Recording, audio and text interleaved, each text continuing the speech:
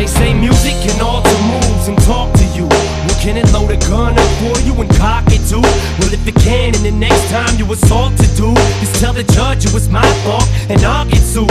See what these kids do is